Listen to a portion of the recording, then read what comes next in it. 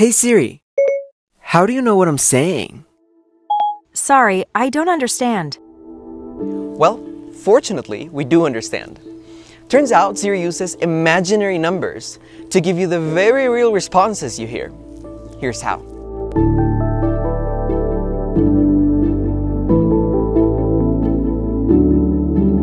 Siri uses something called the Fourier transform, which is nothing more than a recipe machine. For whatever you put in it,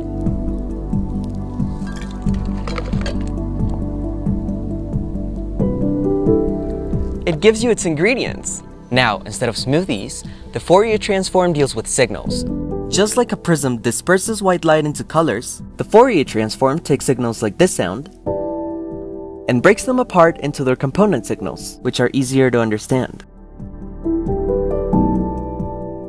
Siri does that to your voice to understand you. But how? The answer lies in this monstrosity. But don't worry, let's break it apart. This imaginary exponent already looks scary enough, but fear not. Really, it's just a circle. This is just our way of expressing clockwise rotation around the unit circle as a function of time t in the complex plane.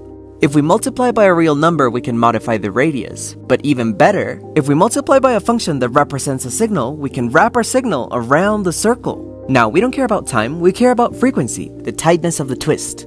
As we increase the frequency, notice that for some values, 2 and 3, our graph aligns especially nicely.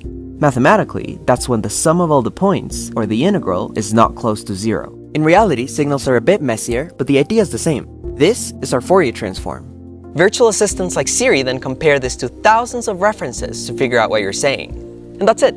From Siri to Wi-Fi to the radio, the Fourier transforms everywhere. And now you know it's just a bit of complex number math. That's right.